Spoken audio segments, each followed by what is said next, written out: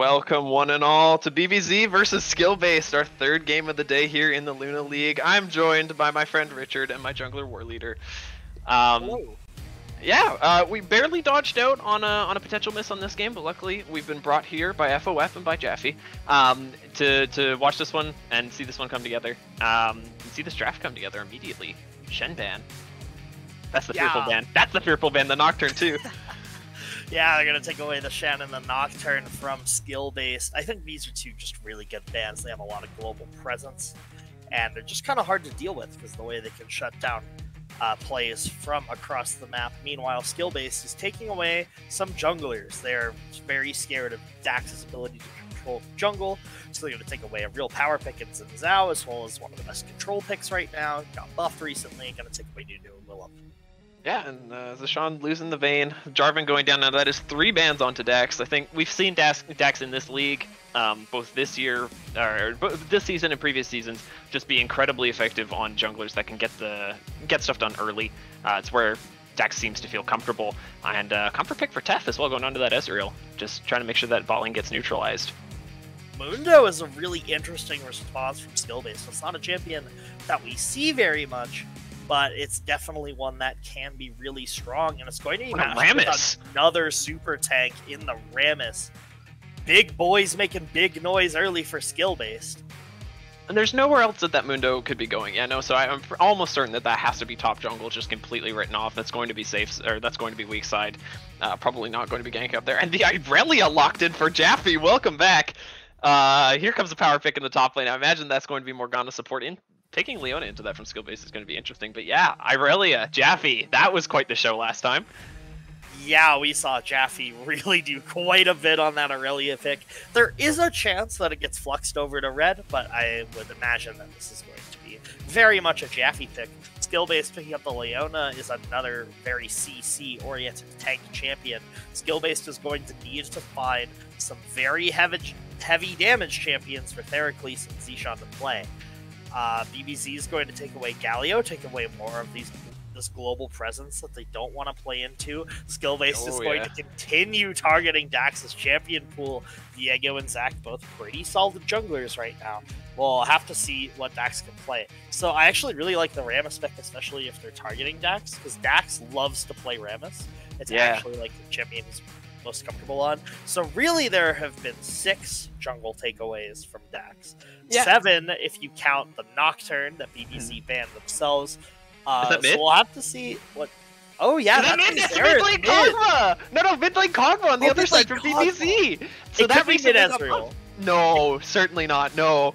And then uh, potentially move with jungle, but Kog'Maw. Okay, I'm very excited. I absolutely love mid lane Kog'Maw. So obviously Kog'Maw just got buffed last last patch, got an extra 20% ratio on that E, um, and just so much extra damage from that Kog'Maw. I really want to see Red play that. Oh, I'm actually really excited for this game now. We see the Mumu locked in uh, on the side of BBZ, and then the Caitlyn pick up in the bot lane.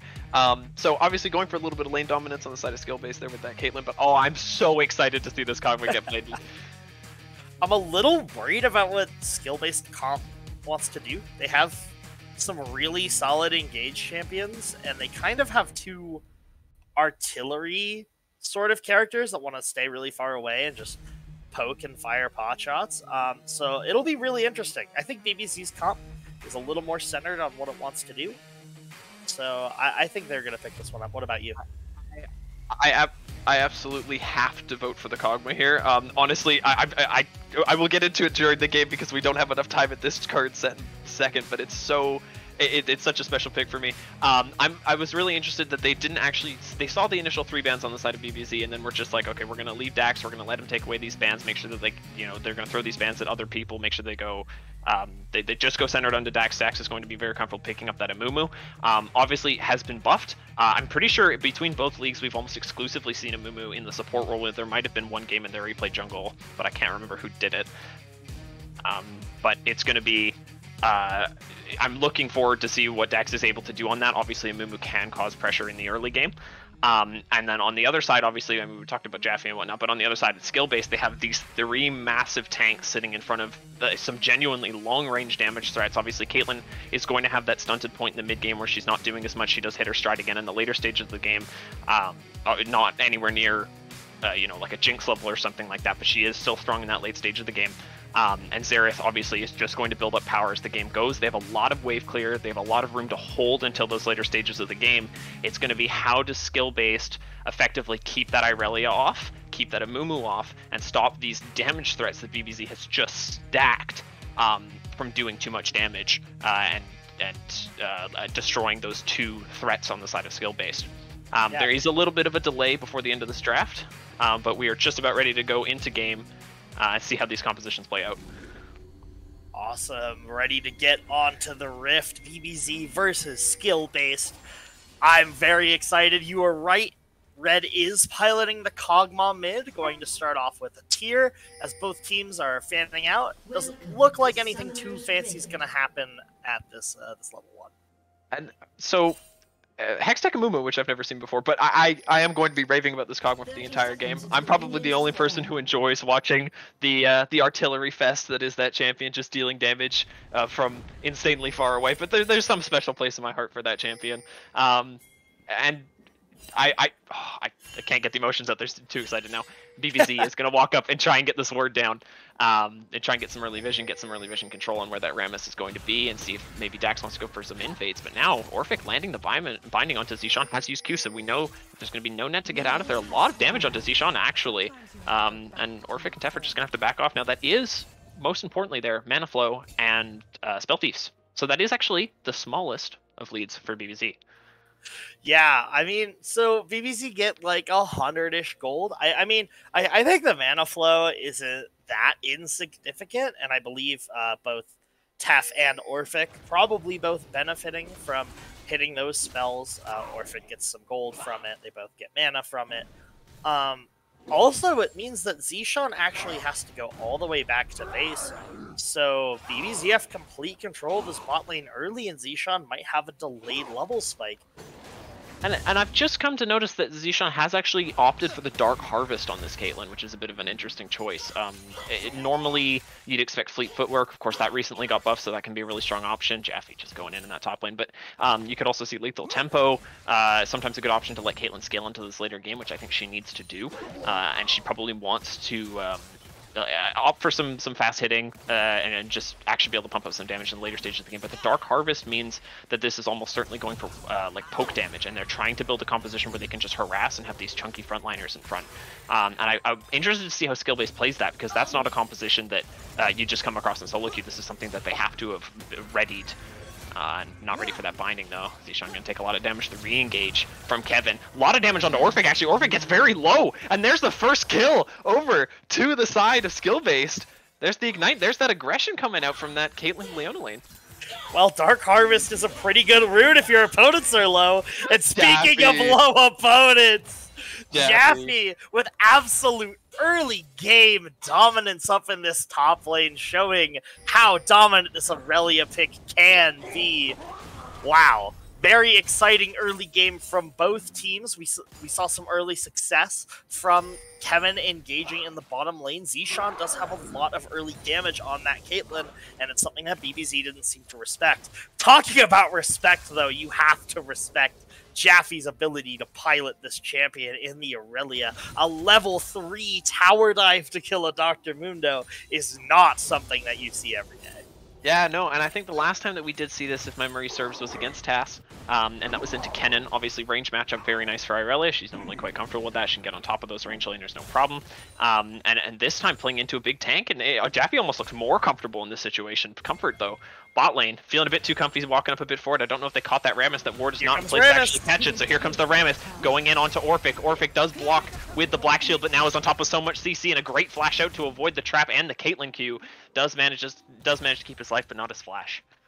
Yeah, so really good gank early by one lucky fridge. So far, the bot lane's looking really good on the side of skill based, and this is something that's going to need to go well to get them into the game. Uh, you have the Xerath going to be putting out pretty consistent artillery damage throughout the mid game, but Caitlyn is a champion that has a very big power trough in the mid game. So getting ahead in the early game is going to be really important to mitigate that. Especially getting that Caitlyn specifically ahead because she can mitigate that duration where she's at that two items, at that roughly, you know, two, three items where she's really not at her strongest. She does really well at the zero to one item range. And then, like you said, have that power trough. And then once she gets those abilities maxed out, she has a lot of extra damage. Speaking of damage, this Kog'Maw just laying down those E's. And that is a, that is a that is a build and a champion that is going to take so much time to build up in its maximum strength. Kog'Maw it has very good AP ratios, has very good missing health damage on the ulti, but it takes a little while for him to get to the point where he can sustain that damage. He needs the XP on the for the ulti, he needs the AP for all of his other abilities, and and we will see big damage and big numbers coming out of the Kog'Maw, but it's going to be around 2 300 CS when he actually starts to do that. But Jaffy's not waiting for that kind of duration right now. Yeah, we're gonna see Dax go in here. A big engage from Dax, actually just catching Kevin, does burn the flash, another re-engage with the second charge of that bandage toss onto Zishan, but Orphic gets very low, barely survives the heal burn from Zishan, getting very, very low as Kevin gets the re-engage onto Tep. Tep doesn't have enough mana to finish either of these off, and what a great escape from this gank by the side of skill-based, actually managing to walk away from that. I think Kevin played that absolutely perfectly. Zishan is on, I don't know, 30 HP, and Kevin does a great job of making sure that his Leona is always in between the enemies and his Caitlyn. And as a result, Zishan gets out on the slimmest of margins. Very well played. Yeah, and, and I mean, obviously, this is going to be gold over to the side of BBZ. That is a positive play for them. They've gotten a lot of sums off in that bot lane, and it's going to leave Dax to walk down again, get some vision control set up, and then come down again and maybe get that kill. Um, so it's it's not going to be easy sailing for the next five or so minutes on the side of skill base, but the fact that they get to walk away with that, they don't have to give over any gold, um, and they just take their recalls, they could get to go home, buy that serrated Dirk. Really, honestly, very well done. I was certain there was going to be a kill there. Yeah, I, so even though we've seen things go back and forth between these two teams, I think it's really important to note about 600 gold lead uh, well, actually, it changed right as I said that. Now it's only a 300 gold lead for BBZ off of the oh. laning prowess of Jaffe. But now here comes Rammus again, forcing out a flash. Actually, man, it actually decides to turn away right there. Doesn't think he's going to be able to catch up to Red in time for that TP to finish. Jaffe comes into the lane, just protecting his Kog'Maw there. And we've seen protect the Kog'Maw compositions bot lane for a few years now. And now we're starting to see it mid lane. Uh, we see Dax trying to take advantage of those burnt summoners in the bot lane. The vision is completely set up for BBZ, and there's a blind eye here as they finally catch wind of the mummy coming into the jungle. But here comes Rammus to try and make this even, but no. 4v3 in the favor of BBZ. Tep gets taken incredibly low, does manage to pick up the kill. Is Zishan. Dax walking away on almost no HP, but does get picked up by the Xerath ulti. That is 2 4 1 in favor of skill-based. Yeah, I think Skillbase played that fight really well. Theracles walking down knows the Kog'Maw won't be able to stop the Xerath Roam and able to get in that Arcane Barrage to finish off the kill.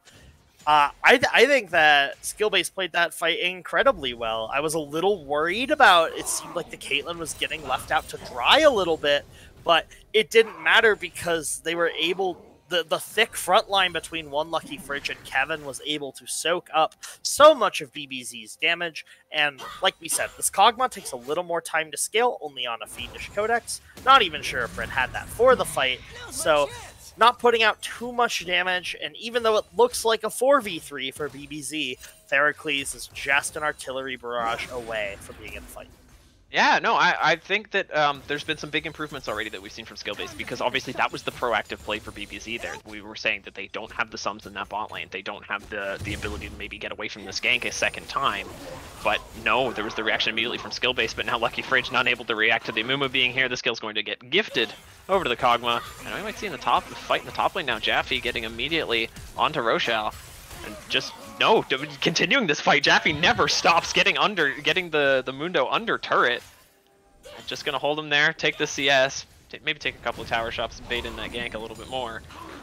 But uh, yeah. Uh, yeah, no, good good kill to give over to Red there. That Kog'Maw, obviously, when it does scale up, is going to be able to chunk entire teams. You can put a front line in front of him. It does not matter. He's going to be building into that Liandry's for the sake, sake of that tank shredding. I imagine that we'll see um, some more tank shred in the uh, bot lane coming out of that Ezreal.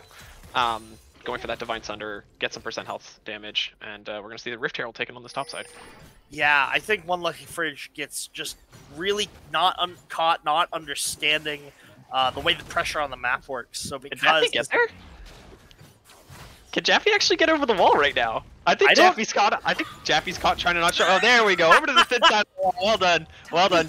gents. I'm very proud of you. Um, but yeah, no, I think yeah, like like Fridge just not respecting the Amumu's turning up, doesn't respect the lack of mid prio that Theracles is missing at the moment. Um, and yeah, just gets caught out, and that's a free kill over the Kog'Maw, and you know that's a worrying place for that gold to be going right now. Oh, for sure, Kog'Maw is the quintessential late game threat, and even though it's a different style in the mid lane, still going to be something to be worried about for sure as this game goes on. Yeah, Meanwhile, it looks like skill base is going to start up the dragon. We're gonna have to see if BBZ wants to do anything about this. Doesn't look like they're in position to really do anything about it. Red taking a lot of damage on the top side, and they're just using the spot prio to get that first dragon. Now, we are confirming that this is going to be one of the one of the situational souls, as it were. There's two souls, in my opinion, in this game that can really fit onto any team composition. Those two are not up for grabs today. So what we have is we have Cloud and we have Mountain. Um, I think that this Mountain Soul, if the if the Dragons can continue on the side of skill base right now, if they can pick up a Mountain Soul, this team is going to be so scary and so hard to break if they can get the extra tank stats out of that, get the shield, protect from that Kog'Maw poke. But of course, that is a long way away right now. So far, it's just that Infernal Dragon, more more damage onto their carries. Oh, and that just massive Kog'Maw damage. The barrage. I think both of these teams actually benefit really greatly from Mountain Soul because both teams have a strategy revolved around getting off a lot of poke damage. So honestly, if either team got that, it would be a huge boon to them in how these sort of neutral situations play out and where the damage ends up landing. Uh, I think if this is a Cloud Soul, however, I think it's a pretty major advantage over to the side of BBZ. Um, I think Orphic with the Morgana does a lot. Ooh, little scrap in the mid lane, but nothing's going to come of it. Uh, I think uh, Morgana benefits so much from having the Cloud Soul, and Red is able to proc Cloud Soul quite consistently. Jaffe's going to appreciate the move speed to close down on key targets. So I, I think if it's uh, if it is a Cloud Soul, it is very good for BBZ. I think if it's a Mountain Soul, both teams would be really excited to have it. Kevin had actually, I believe that's Kevin's ward. It might, might have been uh, Theros, but uh, it threaded a really nice ward in there to make sure that they can confirm that dragon just on the side of the Raptors there. Um, outside of the range of the pink ward, actually really well placed, but I say that, here comes the engage in the top lane with a really well placed ultimate uh, on from Jaffe. A lot of damage coming down, but no, here comes the Mundo regen. Da Jaffe, you've gotten yourself too deep. Is he going to be able to side seek that cleaver? No, it was a little bit earlier. Maybe it was waited for, but now Dax trying to come up here and run down the Doctor. He's got most of his health back. I don't know if Dax is actually going to be able to win this. Does miss the second bandage toss. The ultimate is available. Does get the, the initial damage down from the. There's the ultimate popped out. And what am I saying? Here comes a lot of damage from this Amumu.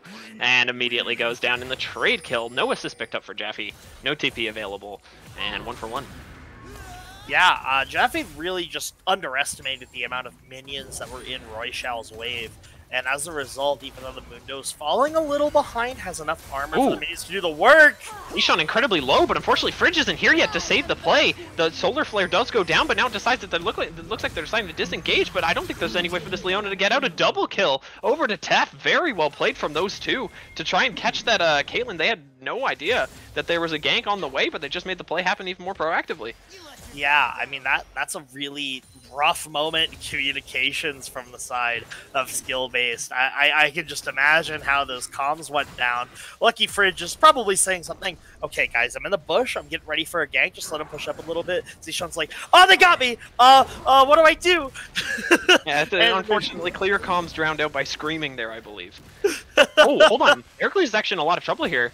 But no, I say that, and Red is actually the one who turns out to be in trouble as a trade kill goes down, but that is the shutdown onto one Lucky Fridge, assist, assist picked up by Theracles. and honestly, that's not too bad of a trade for them. Flash burned on the Kog'Maw. Yeah, I mean, uh, I believe it was a shutdown that goes over to one Lucky Fridge's Rammus going to go a pretty long way in terms of gold. But speaking of gold, up on the top side, uh, Dax picking up the Rift Herald, putting all that gold onto Jaffe, off Don't... turret plates, and this Irelia is going to be terrifying. Yeah, four plates obviously huge amount. I don't think they're going to be getting that fifth one, unfortunately. They are zoned off just before they go down, but getting that Rift Herald down just before the plates uh, lose their value. And, and, a lot of lost value there, but maybe they'll find that gold somewhere else as they find Fridge in his jungle. Now the second Bandage Toss does manage to catch. Now here's the artillery in from the Xerath to try and support this fight. Now Rochelle has to try and defend, go back to this turret, which we just saw get chunked out. A little bit risky now. Tef alone on their own in this bot lane. As Orphic getting some very deep wards actually in favor of that. But yeah, no, fight down top lane. Yeah, I mean, this has been a pretty chaotic game so far. A lot of kills going down by two teams that kind of want to scale up big binding. And now coming Kevin's trying out. to find a re-engage onto this fight, but I don't think that there's going to be any way for Kevin to make this happen. A great CC chain there from Orphic from the ulti, and then oh, almost picked up there from Red in the mid lane. It looks like these individual lanes are just starting to fall away from skill base, getting caught. Um, just a couple of times there, they weren't ready for Orphic to come back to lane. Uh, and even though uh, under turret, which is normally a time when teams actually really struggle to get deep vision down, Orphic is finding it, coming back to lane and picking up a kill into Zishan. Yeah, I, I think I think Theracles is very used to when playing Xerath having a range advantage into his opponent, and Kog'Maw is not a matchup you see every day, and the the barrage that uh, Kog'Maw can put out definitely has a lot of range to it. So Theracles gonna have to learn how to deal with that on the fly as this game goes on. BBZ is going to walk over to pick up this ocean track, and it is a mountain soul. So, like I said earlier, both teams have a very poke-oriented composition. I think anyone that gets this soul is very happy to have it. I, I'm honestly really glad it's a mountain soul. I think it makes the game a lot more interesting than if it's a cloud soul. Um, so, so that's really exciting.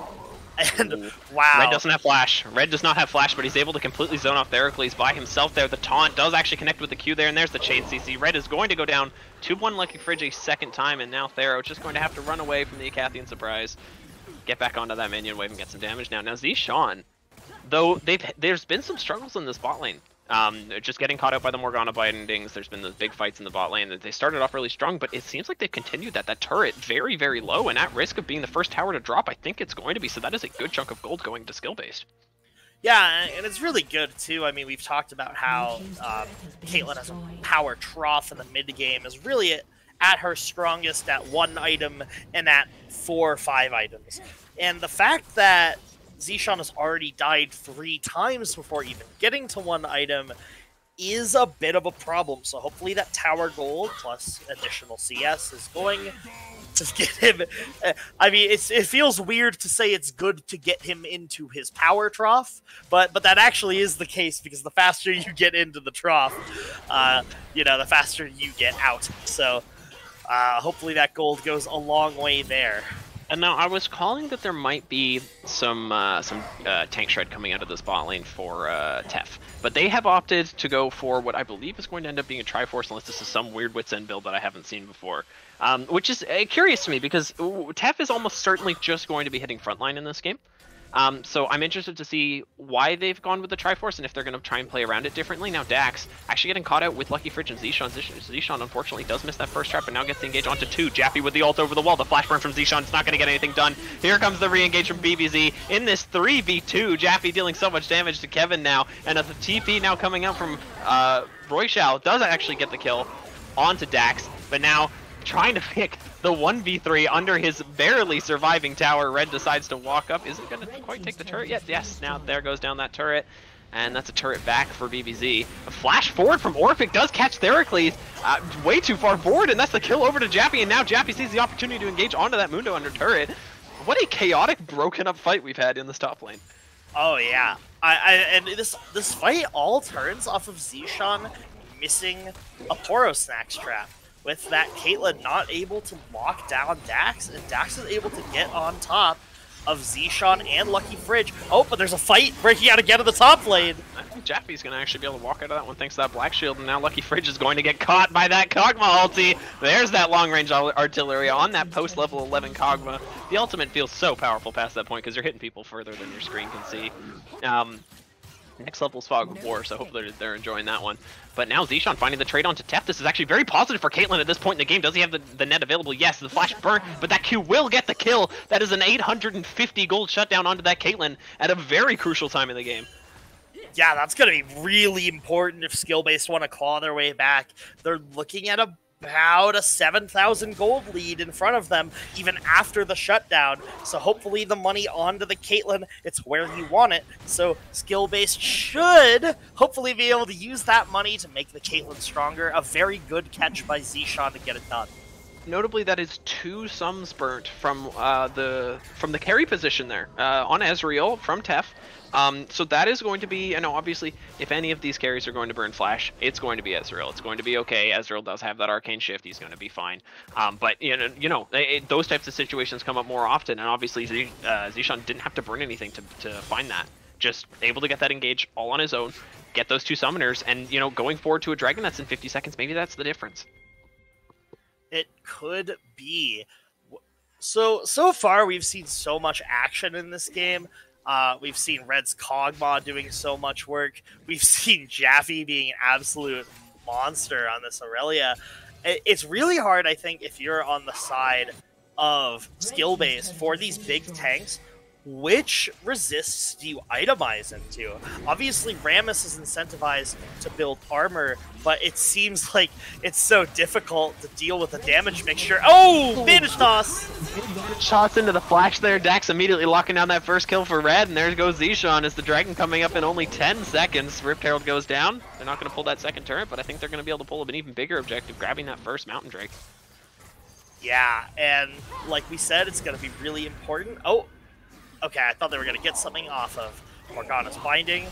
Orphic has been on top of these all game. Maybe they'll just find something off of absolutely nothing. Red trying to get a big engage there. Lucky Fridge unable to hit that ult. Or, yeah, I believe that was his ultimate going down, not grabbing any CC from it.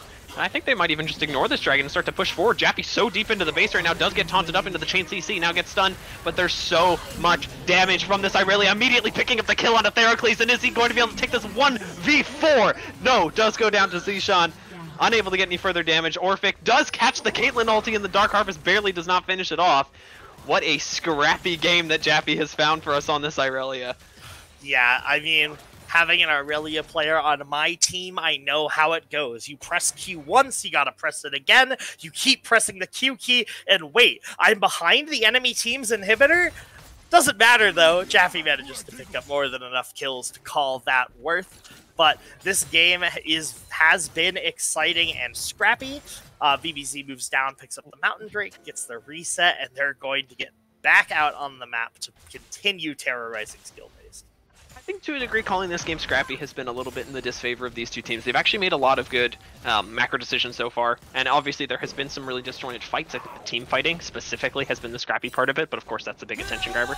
I think these guys have actually done a really good job of um, getting on top of the turrets, especially on the side of BBZ. They've made sure they've, they've broken a lot of these outer turrets, obviously five of the six outer turrets down, um, and, and, they're getting a lot of gold from it. They're getting a lot of map pressure. Uh, they did manage to pull that dragon, uh, and it, it, it uh, saying the game is exclusively scrappy does kind of undermine that. And I don't think that that's totally fair. These guys have done a very good job, but these fights have been so broken up so far, and it's hard to say where that's uh, centered from, where that's coming from. But I, would be interested to see if we do get some organized team fights, some front to backs, whatever these guys want to go for, some more poke heavy, let the Jaffe engage, whatever it might be. Do you see the Xerath going down? It's a little bit interesting.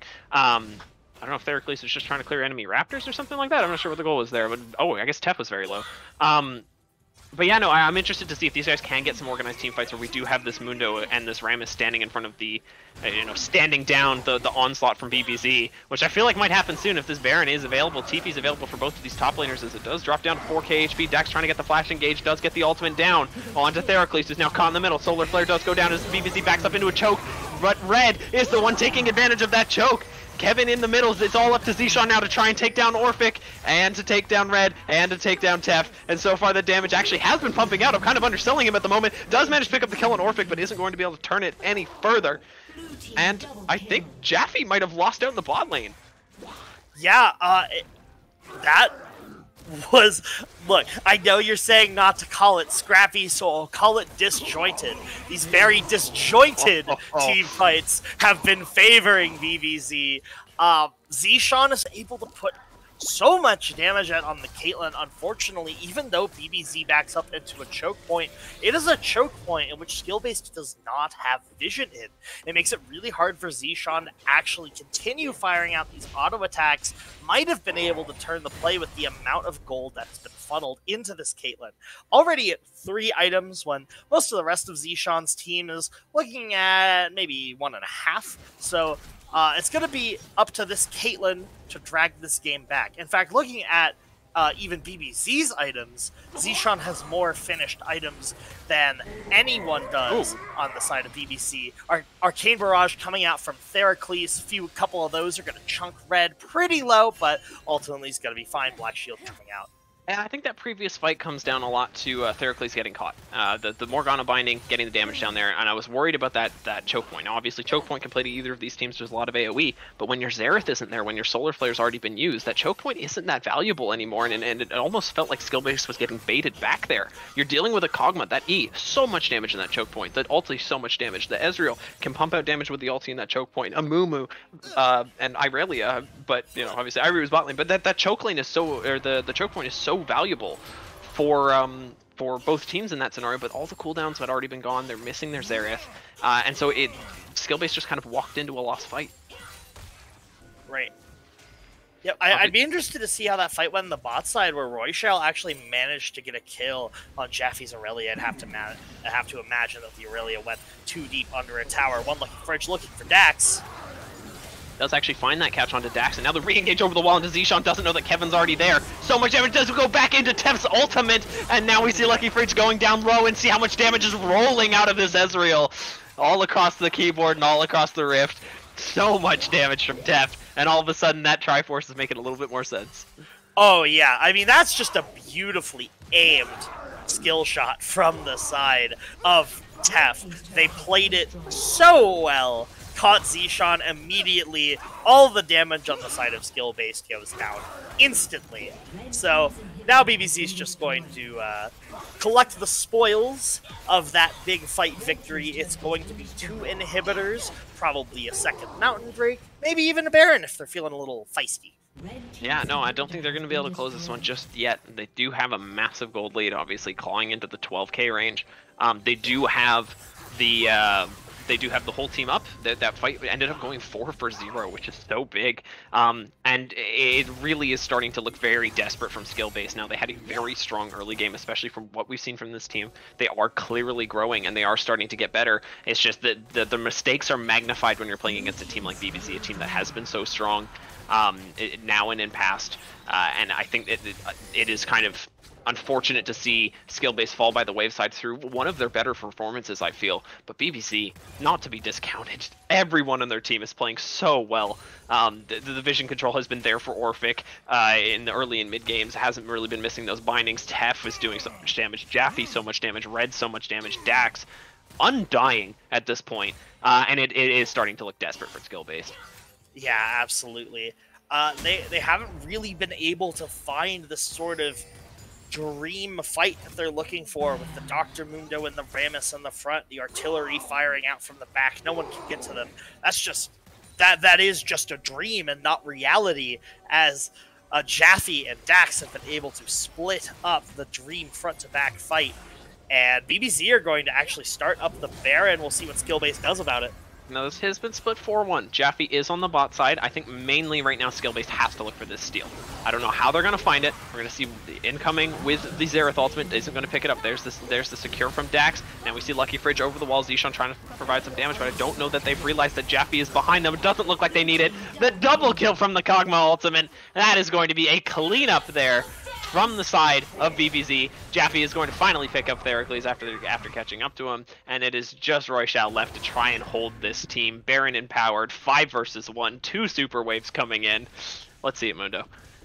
Yeah, I mean, this poor Dr. Mundo's been on the opposite side of the action for most of the game, and now finally getting some action with five Baron empowered, very strong members of BBZ going to walk up to the Nexus, hit it a few times, flash for style, and BBZ takes this game versus skill Skillbase.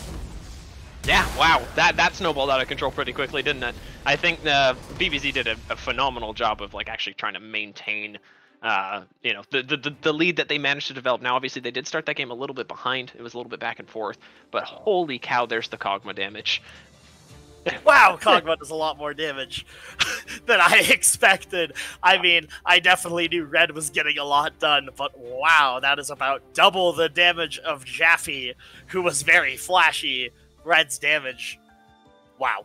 What a beautiful champion there. And I think, honestly, I, I have to restate it. Skill based played better today. This is a Absolutely. stronger performance from them. We have seen them there. Obviously, they're at the bottom of the leaderboard right now. They they're past the midway point of the season now. This is their halfway point. They're ready to turn stuff around now, and it looks like they're making strides. Playoffs you know, still a distant reach, but sixth place might be available for, for them. Getting into that playoff draft, that's probably what they got to aim for right now. Is just taking every game, taking them one at a time, trying to take it seriously. Um, and on the side of BBZ, what a performance! Yeah, absolutely. Uh, the silver lining for skill base sort of has always been Zishan, but I think an additional silver lining they can take out of this game is that they made multiple macro plays that actually worked, especially in the early game. I, I was really happy to see that from them and uh, I, I, think it looked really good, especially in the early game. Um, Hopefully, they've got some work to do to get up to the level of a really good team like BBZ, who's dominating Luna. Um, but I'm excited. Looks good. Yeah. Hopefully, we can see a little bit more growth from skill base. But for right now, we're going to be going off to an interview with the side of BBZ. Don't go anywhere.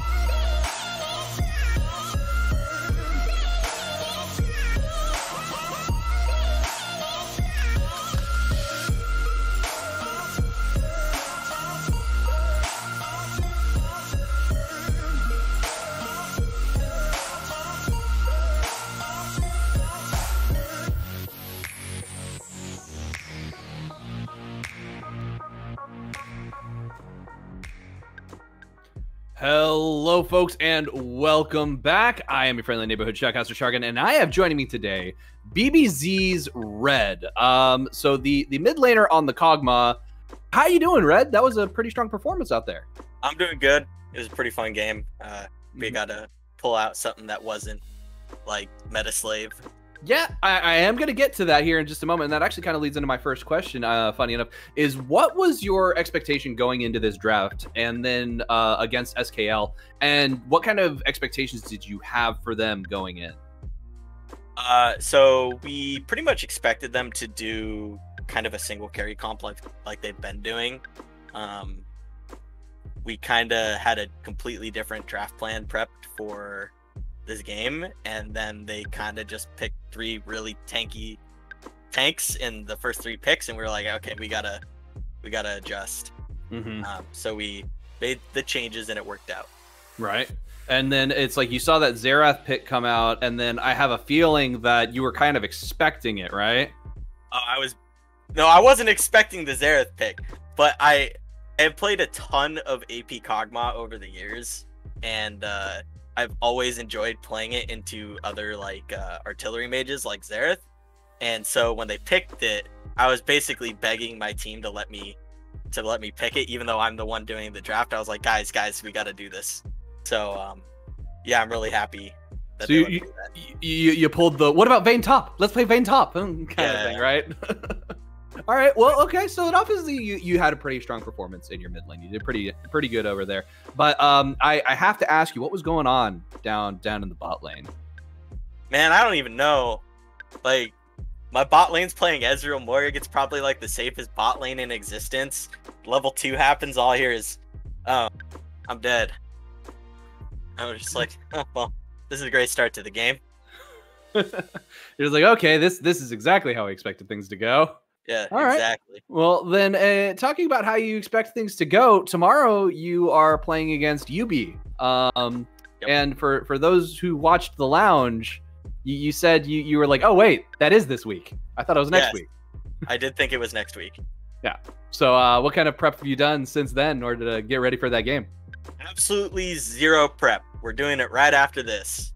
All right. Oh, I thought you were just gonna do it live, like just not even do any prep up to the actual game and just be like, you know what, we're good, we, we got Oh. this. I'm not. I'm not that carefree. I'm not INT. Not INT, but you, you guys, I'm guessing, have got a pretty good idea of what you're uh, expecting, what you're going to be planning going into that. Uh, yeah, we have a few ideas that we've been tossing around in our Discord, and we're gonna kind of focus in on what we want to do. All right. Well, Red, thank you so much for that. Uh, we'll go ahead and take a quick break. I want to say thank you for dropping by, though. Thank you for having me. You are very welcome. All right, folks. So stick around. We'll be right back with one more game for the day. So don't go away.